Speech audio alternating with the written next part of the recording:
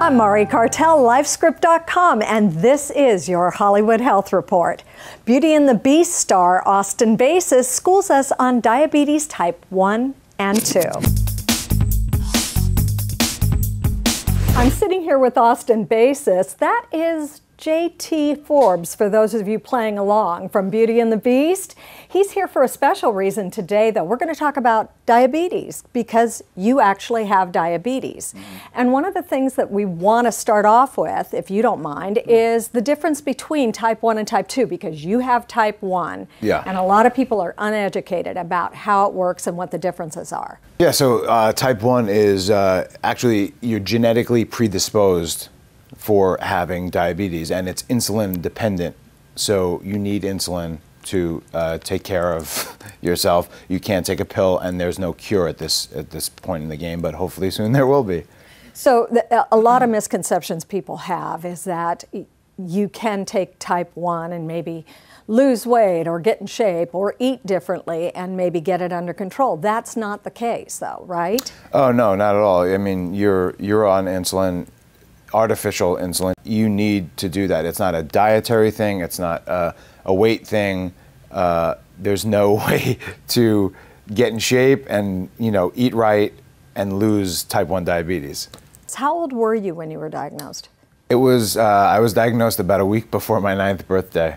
Wow. And uh, my dad owned a candy store at the time, so uh, talk about you know taking everything with a grain of salt uh, and literally a grain of salt now because I can't have sugar.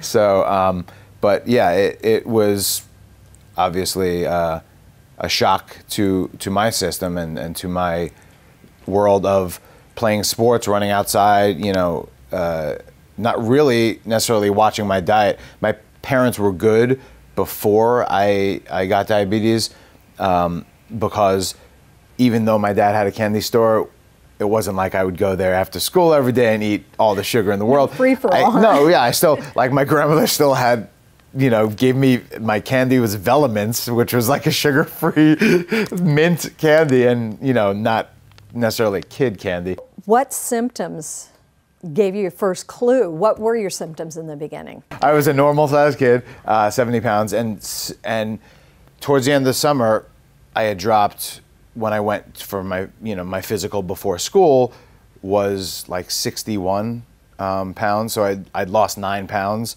over the two months, and I was uh, always thirsty, always drink a lot of water, always going to the bathroom. You know, this kind of like a domino effect, and you know my uh, my energy was always low. You know, kind of always wanted to take naps in the middle of the day and you know mouth's always dry, and um, so they kind of thought it was either diabetes or urinary infection.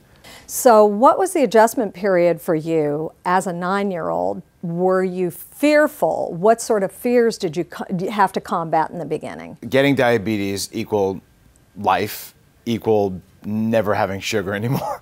Uh, so that was like what I interpreted, and it was you know crying, and you know that's the that's the diagnosis as a kid. You can't have candy anymore. Part of it is like you get put on a diet, and you have to eat a certain amount of food at certain times, and you have to wake up at a certain time. You have to take your blood sugar at a certain time. You have to um, take insulin at a certain time, especially when you're not on the pump. Was there an, an embarrassment level? Were you a little concerned about people knowing? Were you, were you secretive? I wanted to stand out, but I didn't want it to be because of that. You know, I, I wanted to be because I was good at baseball or I was, you know, elected fifth grade vice president, you know. Did you get elected? I did. Fifth grade vice president, eighth grade vice president taking my own blood sugar levels and you know shots, and um, I think it did almost give me an advantage uh, and, and and motivation to be unique in in ways that uh, were in my control. Can I take a look at your pump? Can I see what it looks yeah. like? sure. That is, yeah. Uh, uh very personal question, know, but uh, right? yes, uh, I will show you my pump. Um, Thank you. uh, so tiny. Yes, it. There's a lot of buttons, um, and uh, but it's relatively a simple uh, machine to use. this is uh, I'm very low right now, so you could see that uh, I'll probably need to pump up sometime later today and refill it, and so and and and pick a new uh, infusion site. And it never messes up. Oh, it always does. Um, and that's you know the insulin pump doesn't mess up. It's the human you know error of the natural flow of your body and, and, and what your calculation is, whether it was right for the meal you had out at the restaurant. Because not e- even when you have uh, you know the nutritional info on the back of a package, you you still don't get to the point where it's perfect. It's an inexact science, and that is why I think everyone works, you know, is working towards a cure and, and a little better way of managing it. Well, how much impact does your schedule? Uh, it- shows are notorious for that, for long hours. How much impact does that have on your body? Well, I, I mean, I wind up taking, mm, you know, uh, testing my blood sugar probably three or four more times per day. You- find out on TV set, it's about getting it done, you know, and the, the schedule is constantly going and you don't want to get behind and you do fall behind. And so I don't want to be the reason for the schedule to fall behind because I have to drink a juice or take more insulin because my insulin is, is, is gone uh, high because uh, I ate too much for lunch and didn't take enough insulin.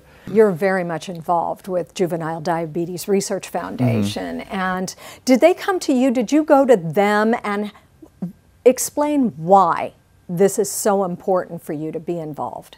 because I have a you know uh, a platform for which I, I could um, provide an example for kids to know that they could live normal lives um, even with type 1 diabetes um, is is important and so that's that's what I um, I guess take pride in.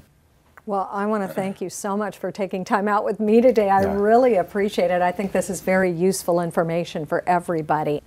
For more diabetes information, visit our Diabetes Health Center at lifescript.com. This has been your Hollywood Health Report from lifescript.com. I'm Mari Cartel.